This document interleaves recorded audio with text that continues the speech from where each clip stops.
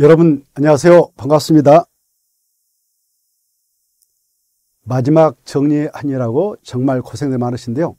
이제 올해 꼭 합격을 하시기 위해서 우리가 이제 백선을 가지고 마무리를 잘 정리해 가지고 어, 반드시 합격권에 들어갈 수 있도록 했으면 좋겠습니다.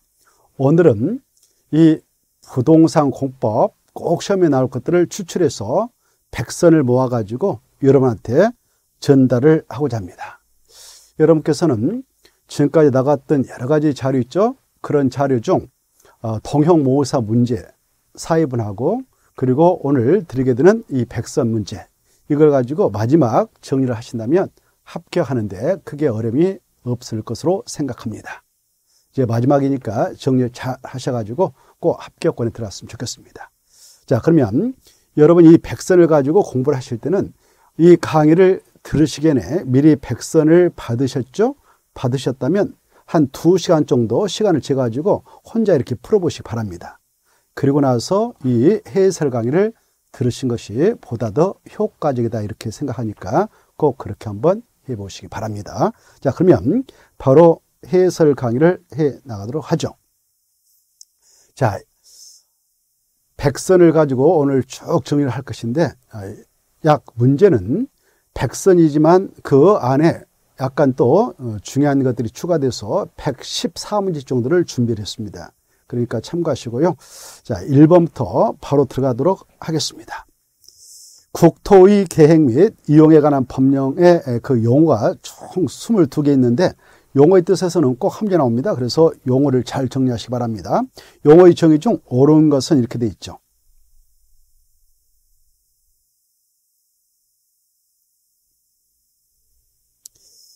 자, 1번 광역 도시계획이란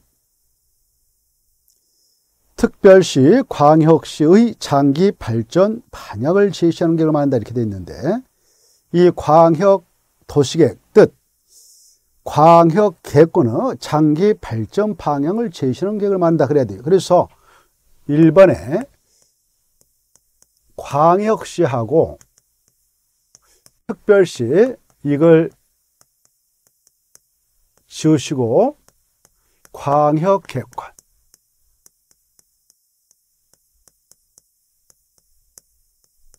이렇게 수정해 맞죠? 그래 광역 도시계란 광역 계획권의 장기 발전 방향을 제시하는 계획이다. 2번 지구 단위계 지구 단위계라고 하는 것은 도시 군계획 수립 대상적의 전부가 틀렸죠? 전부가 아니고 일부에 대하여 수립하는 도시 군 가릭을 말한다. 그래서 전부가 틀렸고요.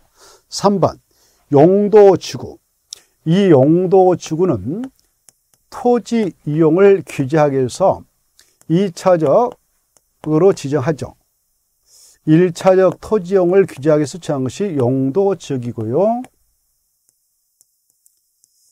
이거 가지고 안 되겠다 싶을 때 그에다 중첩해서 지정되는 것이 용도지구죠. 그리고 용도지구도 지정했지만 특수 목적을 달성하기 힘들다 그럴 때는 3차적 토지용을 규제하기 위해서 용도 구역을 지정합니다. 이걸 군조주로 표현하면 원스타, 투스타, 쓰리스타 이렇게 된다고 그랬죠. 그래 이 용도 지구라고 하는 것은 용도 지구 위에 지정하여서 이 용도 지구 제한을 강화 또는 완화 적용해서 용도적의 기능을 정진해 나고자 도시 군가로 결정하는 지역이죠. 그래서 이 용도 구역이라고 되어 있는데 그걸 X 치시고 다 용도적, 용도적으로 수정해야 맞습니다. 3번. 지금 그 지문은 용도 지구라고 하는 이 투스타가 용도 구역 위에 지정돼 가지고 스리타를 마음대로 이렇게 해라 저렇게 해라 이렇게 할 수 있다는 표현인데 그건 틀리죠. 그래 투스타가 스타에게 어떻게 이래라 저래라 할 수 있습니까? 안 되죠. 그래서 투스타는 원스타에게만 이래라 저래라 지시를 내릴 수 있기 때문에 용도 지구라고 하는 것은 용도 지역의 제한을 강화 적용, 때로는 완화 적용해서 용도지구 기능을 증진해 나가고자 할 때 도시군가로 결정하는 책이라고 했습니다.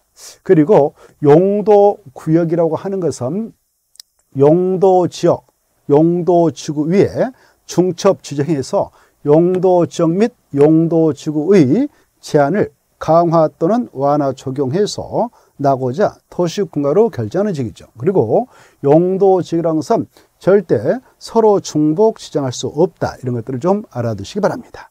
자, 그래서 3번은 용도구역, 용도구역을 용도지역, 용도지역으로 수정해야 됩니다. 그래서 틀렸죠. 용도구역을 주시고 그 자리에 용도지역 두 가운데 수정해야 돼요. 이렇게. 자, 그 다음에 4번. 4번은 도시군계획사업. 도시군계획사업은 도시군관리계획을 시행하는 사업이다. 그런데 세 가지가 있다. 그래서 맞습니다. 도시군계획시설사업, 도시개발법에 따른 도시발사업, 도시 및 주관경 정비법에 따른 정비사업을 한다. 그래서 4번이 답이죠. 그 다음에 5번 도시군계획시설 사업. 도시군계획시설 사업이란 기반 시설을 이게 틀렸죠. 도시 군 계획 시설 사업의 뜻 이것을 이것이 뭡니까? 도시 군객 시설을 여기다 동그라미 치세요. 이것을 설치, 정비 또는 개량 사업이죠. 그래서 기반 시설을 틀렸고 도시 군객 시설로 바꿔야 돼요. 그 다음에 개발 밀도 관리란 개발로 인하여 기반시설이 부족할 것으로 예상되나 기반시설 설치가 곤란한 지역을 대상으로 칭합니다. 그런데 건폐율이나 용적률을 뭐하기 위해서 제합니까? 완화가 아니라 강화. 그래서 틀렸죠. 완화가 아니라 강화. 이 개발 밀도 관리이 이렇게 지정되면 그 안에 적용되게 되는 건폐라고 용률은 강화 적용됩니다. 이렇게 용적률은 그 용도 지역에 적용되는 것에 몇 푼까지 강화 적용되냐? 50푼까지. 자, 그 다음에 2번 들어가겠습니다. 국토개법령상 광역 도시계획, 도시군 기본계획, 도시군 가획을 비교 설명한 것 중 틀린 거 이렇게 돼 있죠. 자, 1번 맞습니다. 그런데 2번이 틀렸죠. 광역 도시계획이 수립되어 있는 지역에 대하여 수립하는 도시군 기본계획은 광역 도시계획에 부합되어야 된다. 거기까지는 맞는데 마지막에 틀렸죠. 도시군 기본계획 내용이 광역 도시계획 내용과 다른 때에는 뭐가 더 상위계획입니까? 광역 도시계획이 상위계획이니까 이 기본계획하고 광역 도시계획 서로 다르다. 그러면 광역 도시계획을 우선 적용하죠. 그래서 마지막에 도시군 기본계획 내용이 우선한다 틀렸죠. 그게 틀렸고 그래서 답은 2번. 다음에는 다 맞습니다. 그 다음에 3번 들어가겠는데 도시 자 국토계획법상 광역개공과 광역 도시계획 설명 중 옳은 글이 되어 있죠. 1번 지무면 광역 도시계획을 시도사가 공동으로 수립하는 경우 그 내용에 관하여 서로 협의가 이루어지지 아니한 때에는 공동으로만 국토교통부 장관에게 조정 신청할 수 있다 이렇게 됐는데 공동으로만 만자 지으시고 그 공동으로 또는 단독으로 이래 맞죠. 그래 이 시도사가 광역 도시계획을 공동 수립할 때에는 그 광역 도시계획 포함시켜 할때 여러 가지 정책 방해하는 내용을 서로 협의해서 수립합니다. 근데 협의가 이루어지지 않으면 그네들 바로 단독 또는 공동으로 국토교통부장한테 조정 신청할 수 있기 때문에 1번 틀렸다. 그래 2번은 맞습니다. 그래서 3번은 답이 2번이다. 광역 계획권은 누가 지정할 수 있냐? 마지막에 국토교통부장과 도의사. 그래서 약자로 국도 이렇게 외우시라고 그랬죠. 광역 도시계획은 국토교통부장하고 도의사만 지정할 수 있다. 맞고요. 그 다음에 3번. 3번은 이 주민이나 구청장도 광역 도시계획 수립권자가 될 수 있으며 틀렸죠. 있으며 이게 틀렸어요. 그 자리에 없으며 이래야 되죠. 그래, 이 광역 도시계획, 광역 도시계획은 수립권자가 국토교통부 장관, 그리고 시 도지사. 그 다음에 시장, 군수가 수립권자죠. 구청장, 주민은 수립권자가 될 수 없는 것이죠. 자, 그래서 들렸고요. 또 도의사가 단독으로 광역 도식을 수립한 경우에는 국토교통부장한테 승인을 받아야 한다. 그렇지 않습니다. 이 도의사가 도후 관할구역 내에다 이렇게 광역 계획권을 지정했다. 그래서 그 안에 시장, 군수에게 통보해 줬다. 그러면 이 시장 군수가 협의해서 공동으로 수립을 하는 것이 원칙인데요. 협의가 이루어지지 않았다. 또 전희들끼리 협의해가지고요. 야, 우리끼리 수립하기 좀 벅차다. 그럴 때는 도사님한테 협의 해가지고 얘네들을 시장군수 협의해가지고 바로 도사한테 수립해달라고 요청할 수 있습니다. 그러면 요청을 받았던 도사가 단독으로 수립할 수 있죠. 이렇게 단독으로 수립했다면 자기가 지정했던 광역 계획권이기 때문에 도사가 광역 도식을 스스로 확정하지 국토교통부한테 승인 신청해서 승인받는 건 아니다. 이렇게 그래서 들렸습니다. 승인을 받아야 한다 틀렸죠? 받지 않는다 그래야 돼요. 받아야 한다 쉬어버리고 받지 않는다. 그 다음에 4번 국가계획과 관련된 광역 도시구 수립이 필요한 경우에는 국토교통부 장관이 직접 단도로 광역 도시구를 수립하고 그렇습니다. 거기까지 맞죠. 국토교통부 장관이 광역 개권을 지정한 날부터 3년이 경과될 때까지 관할 시도사부터 광역 도시에 대하여 승인식이 없는 경우에는 광역 개권 지정을 실현된다. 드렸죠. 이 광역 개권 국토교통부 장관이 둘이서 한 시도를 묶어서 지정을 했다. 그래서 시도사에게 통보했다. 시도사가 수립해 가지고 광역 도식을 어, 3년이 되는 까지 승인 신청을 하면 되는데 3년이 지날 때까지 승인 신청을 하지 않았다. 그러면 이 광역계권 지정은 실효된 게 아니고 이때는 직접 지정했던 국토교통부 장관이 광역 도식을 수립하게 되죠. 그래서 광역계권 지정은 실효 규정이었기 때문에 틀렸습니다. 실효된다 할 때 실효된다를 지우시고 그 자리에 실효되지 않고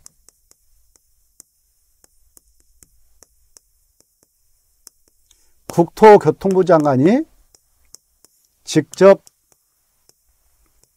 광역 도시계획을 수립해야 된다. 광역 도시계획을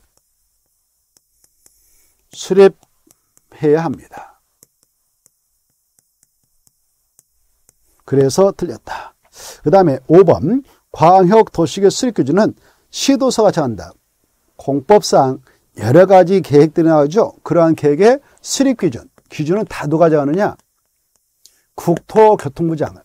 이 국토 총괄 대장이 국토교통부 장관이기 때문에 기준은 국토교통부 장관이 정한다. 이렇게. 그래서 시도사 틀렸다. 국토교통부 장관이 정한다. 그래야 되죠. 자, 4번 들어가겠습니다.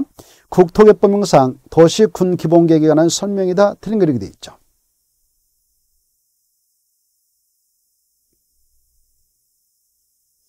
자, 1번 2번, 3번까지 다 맞습니다. 4번이 틀렸는데 도시군 기본계에 부합하지 아니한 도시군 관리은 당연무효다 이렇게 되어 있는데요. 자, 이 도시 군 기본계획이 도시군 관리계 수립을 지치면 되는 계획이죠. 그래서 이 도시 군관리계획을 위반하게 될 때는 이 기본계획에 적합하게 위반을 하도록 돼 있죠. 그런데 이때 이 관리계획을 통해서 그 여러 가지 위반하게 되는 내용들 있죠. 용용용 기사집 그런 내용을 담아서 위반을 해 나가고 그리고 결정을 해 나갈 때 절차가 있죠. 이 법에서 정한 위반 절차는 기초조사, 주민 의견 청취, 지방의 의원 정치에서 위반하고 그 다음에 협의하고 심 걸쳐서 결정해서 고시하게 되면요. 이런 절차상 중대하고 명백한 하자가 없이 이 도시 군갈기 결정 고시됐다 그러면 결정 고시하고 우리에게 열람을 시키죠. 그리고 후속 적체로서 지용대면을 작성해서 고시한 날 이 도시 군갈익은 효력이 발생하죠. 이와 같이 도시 군갈익이라는 것이 기본계획에 맞게 만들어져야 하는 것이 원칙이지만 그러나 이 관리계획이 설령 기본계획에 부합하지 아니하게 위반 결정 고시됐다 하더라도 절차상 중대하고 명백한 하자가 없이 위반 결정 고시됐다면 일단은 그대로 유효하게 효력이 발생되어진다는 것이 대법원 판례 입장입니다. 그래서 바로 4번 틀렸다. 도시군 기본계획에 부합하지 아니한 도시군 관리계획은 당연무효이다 이렇게 되는데 당연무효이다 할 때 무효이다 이 말을 쉬시고 무효가 아니라 무효가 아니라 절차상 중대하고 중대하고 명백한 하자가 없는 한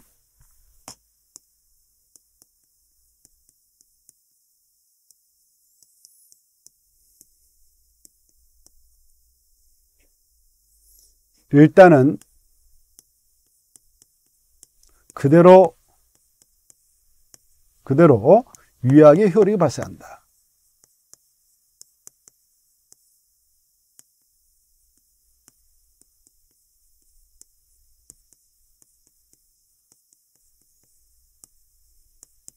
이것이 대번팔 입장입니다.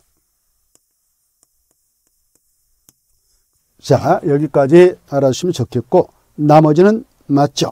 자, 5번 들어가겠는데요. 국토의 계획 및 이용에 관한 법령상 도시군가로 결정하야 하는 내용. 이 도시군가로 결정해야 되는 내용 하면 용용용 기사집 있다 이렇게 아셔야 되죠. 용용용 기사집. 그걸 모르면 문제를 풀 수가 없죠. 자, 용, 용, 용, 기, 사, 지, 자, 그래, 보니까 1번, 도시 및 주관경 정비법에 따른 재개발 사업, 재건축 사업. 이것은 여기 사업에 도시개발 사업하고요. 정비 사업에 관한 계획이 나와 있죠. 이때 이 정비 사업이라고 하는 것은 및 주관경 따른 정비 사업 말하기 때문에 그 정비법상 정비 사업은 다섯 가지가 있죠. 주관경 개선 사업,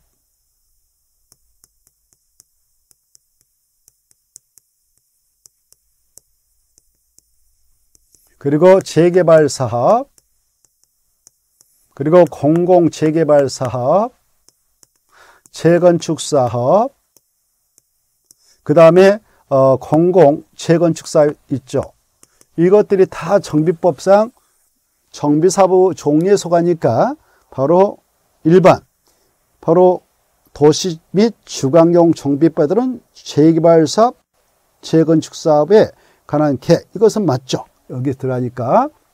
그 다음에 옆에 도시개발에 따른 유통단지 조성사변한 계획. 그래, 이 도시개발 사업에 관한 계획도 도시군가로 결정한 내용인데 이때 도시개발 사업이라는 것은 도시개발법에 따른 도시개발 사업을 말합니다. 그래서 도시개발법상 도시개발 사업 범위를 보면은 도시개발법에 따른 도시개발 구역 안에서 주거단지 조성사반다, 주거단지 조성사반다, 상업단지 조성사반다, 그 다음에 공업단지 조성사반다, 그 다음에 유통단지 조성사반다, 생태문화단지 조성사반다, 보건복지 기능을 갖는 단지 조성사반다, 시가제 조성사반다 이런 것들이 다 도시발사부 범위 들어갑니다. 그래서 여기에 해당하니까 1번은 도시육군가로 결정한 내용에 포함이 되죠. 그 다음에 두 번째 이 개발 제한구역이라는 것은 여기 용도 구역의 일정이죠. 용도 구역이 다섯 개 있잖아요. 개발 제한구역, 시가와 조정구역, 수산장 보구역, 도시장 공구역, 입지규제 최수구역. 그래서 여기 어, 용도구역의 지정과 관련된 내용이니까 맞습니다. 도시장 공도 용도구역이고요.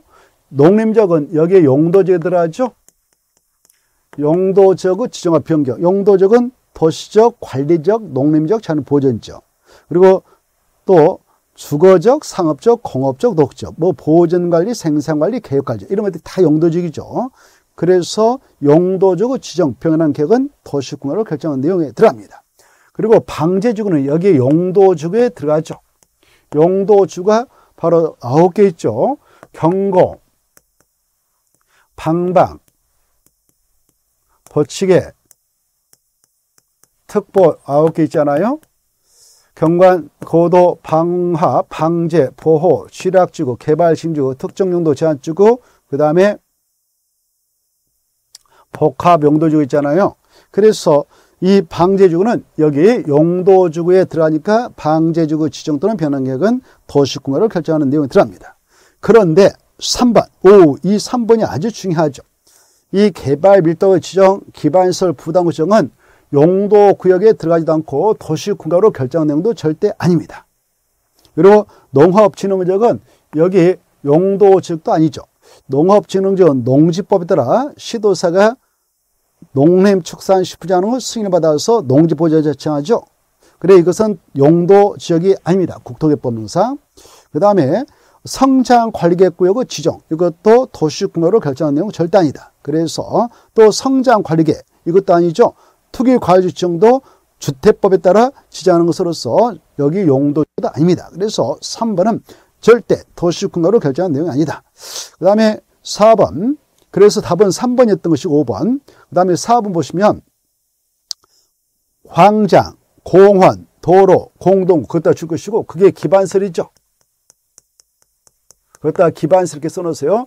그래 기반설 설치와 정비와 계량하는 계 그래서 도시공간으로 결정한 내용 맞고요. 그 다음에 하천 정비, 하천도 기반설 이렇게 써놓으세요. 그래서 기반설이 있다. 그것을 설치, 정비, 계량 다 도시공간으로 결정한다. 그래서 맞죠. 5번, 5번도 도시공간으로 결정한 내용 맞습니다. 여기 지구단위 객구역 지정과 변경, 지구단위 계, 입주기재 최소구역 지정과 변경, 입주기재 최소구역 계, 다 도시공간으로 결정한 내용 맞습니다. 이 5번을 잘 이해하고 정리해 두시면 도시공간으로 결정하는 내용에 대해서 나면 다 맞힐 수 있을 것입니다. 자, 6번 들어죠 6번은 국토개법령상 도시 군갈기의 입안 제한이다. 어려운 거 이렇게 돼 있죠. 1번은 자 일단 4번이 답인데요. 4번을 볼까? 입안을 제한받은 자는 입안을 제한받은 자가 입안권자들이죠. 그네들은 그 제한을 도시군관리계획의 반여부를 결정하고자 하는 경우 필요시에는 국토교통부 장관이 입안권자는 중앙도시네. 시도사, 시장 군수 같은 입안권자들은 자기 청에 있는 지방도시의 자문을 거칠 수 있다. 그렇습니다. 마지막에 자문을 거칠 수 있다. 맞죠?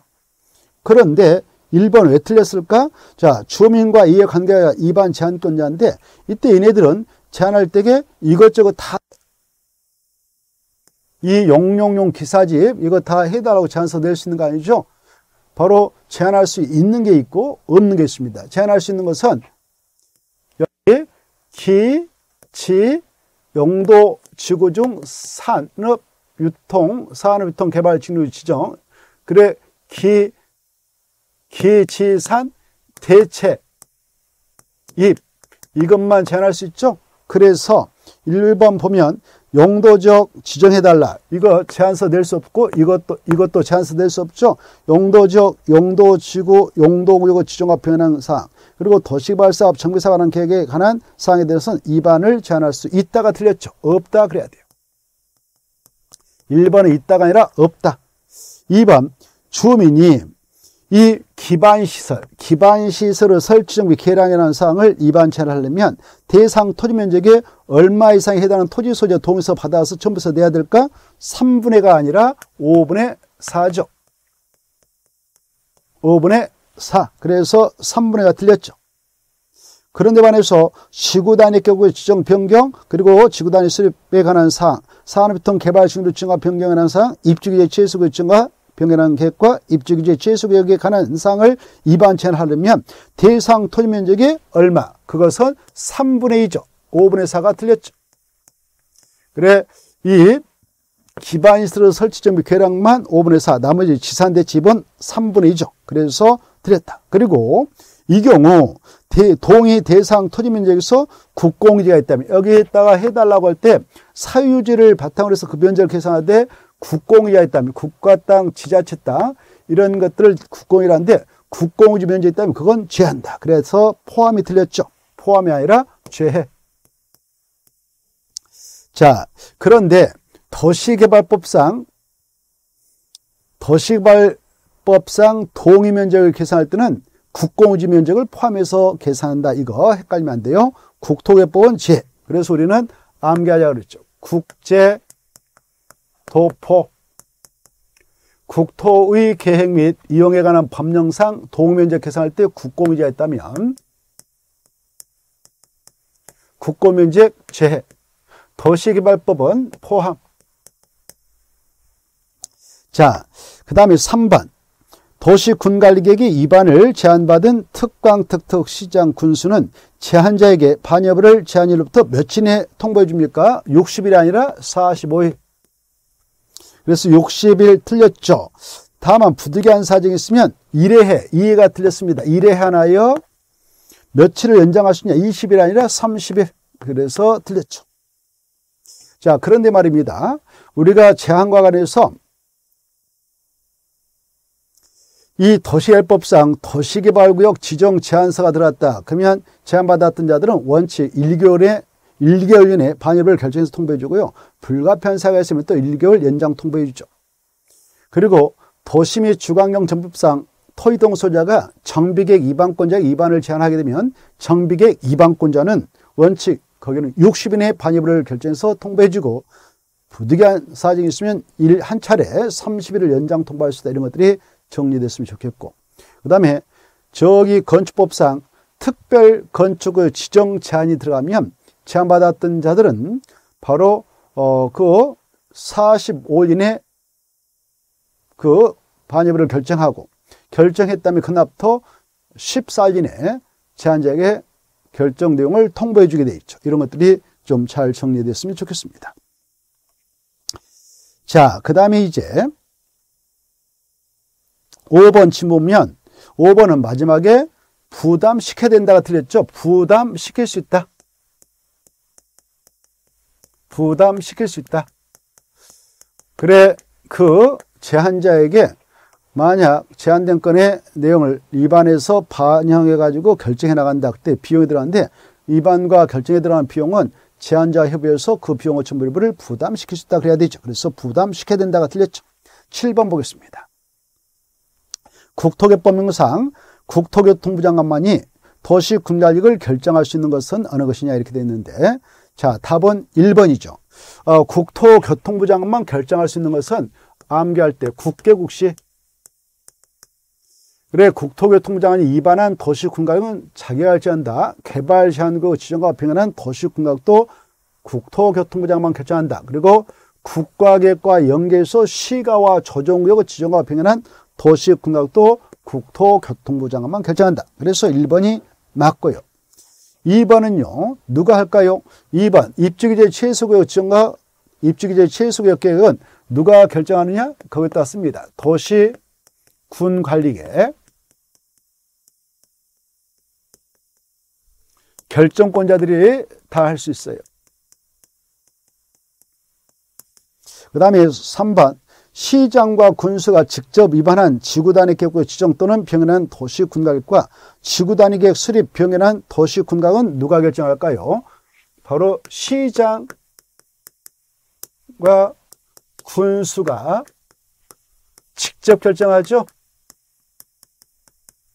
직접 도시군각을 결정한다. 도사가 결정한다 이렇게 시험에 나오면 틀리겠네요.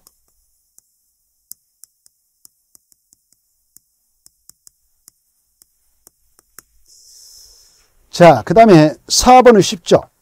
토지 면적이 1제곱킬로미터 이상인 수산자원 보호구역 지정과 표현한 도시군각은 누가 결정한다? 해양수산부 장관. 해양수산부 장관만 결정합니다. 해양수산부 장관만 결정한다. 꼭 아시고. 그 다음에 5번. 도시자원 공격을 지정화표현한 도시공격은 누가 결정하냐? 도시자원 공격일 때 도시가 나오니까 이걸 엎어치면 시도가 되죠. 그래서 시도사하고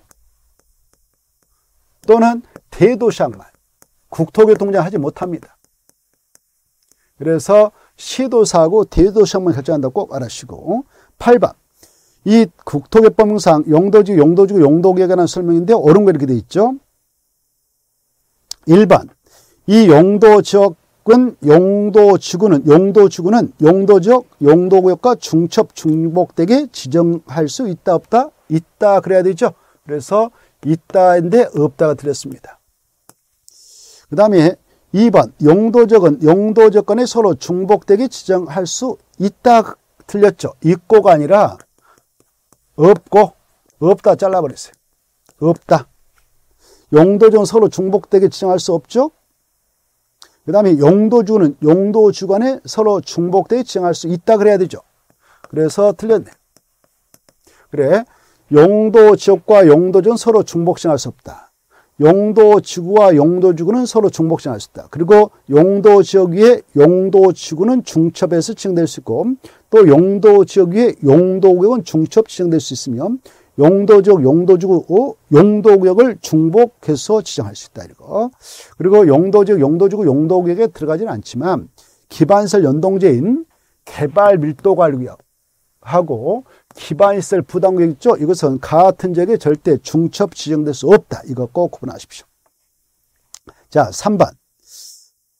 도시적 또는 관리적인 세부 용도적으로 지정되지 아니한 경우에는 용도 지역별 건축물 용도 제한, 건폐율과 용적률의 치관도 규정을 적용함에 있어서 해당 용도지이 도시인 경우는 보전관리지역, 틀렸죠? 보전관리지역이 아니라 보전 녹지역 바꿔야 되죠.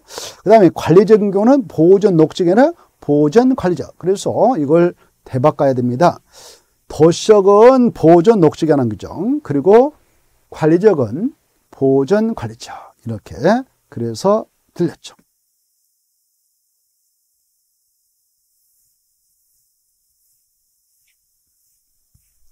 자 이렇게 전 국토가 있다. 도시적이 관리적이 농림적이 보전이 지정되어 있다라고 가정합시다. 이때 도가 농지로 용도가 지정되지 않는 그런 지역이 있을 수가 있는데 이런 미지정 지역이 있다. 이런 미지정 지역 내에서의 건축물로 건축제한 건폐 용도를 적용할 때는 자연환경 보전지역이라는 규정을 정한다 그랬죠. 자연환경 보전지역. 그리고 이 도시역 내 아직 세부 용도가 정해지지 않는 그런 미세분적이 있다. 이 안에서의 건축물로 건축제한 건폐 용도를 적용할 때는 보전 녹지 지역에 관한 규정을 정한다 그랬죠. 그리고 관리적 내 아직 세부 용도적이 정해지지 않는 미세분적이 있다. 그러면 거기서 보전 관리적에 관한 규정을 적용한다. 그랬죠. 그리고 이 보전, 보전, 보전이 나오는 이 지역은 바로 건폐는 다 20% 이하, 용적은 80% 이하 이렇게 암기라고 그랬죠. 그래서 이 미자가 나온 지역들은 미성년자라 생각하시고 미성년자는 보전을 해야 되니까 다 보전, 보전, 보전 이렇게 암기라고 그랬죠. 그리고 건폐율은 미성년자들 보통 28 청시 많죠. 16세. 그래서 20, 80 이렇게 암기를 하자. 그랬습니다. 자, 그래서 3번 틀렸던 것이고 그 다음에 4번 용도 구역의 지정권자. 용도 구역이 아까 여기 뭐뭐 있었나요? 여기 개발 제한구역, 시가와 조정구역, 수산양 보호구역, 도시장 공구역, 입주유지 최소에 있었는데 이 용도 구역의 지정권자는 국토의 계획 및 이용에 관한 법령에 규정된 용도주. 이게 국토계법령에 규정된 용도주 다섯 개밖에 없습니다. 이 다섯 가지 중에서 하나를 지정해서 규제하는 것이지 자기들 마음대로 새로운 용도를 만들어내 가지고 신설해서 지정할 수는 절대 없는 거예요 법적으로 그래서 틀렸죠 용도구역 지정권자는 국토의 계획 및 이용에 관한 법령에 규정된 용도구역 이외의 용도구역을 추가 신설 지정할 수 있다 없다 없다 잘라버려요 없다 있고가 아니라 없다 그리고 용도지구는 용도지구는 아까 몇 개 있다고 그랬어요? 아홉 개 있다고 그랬죠?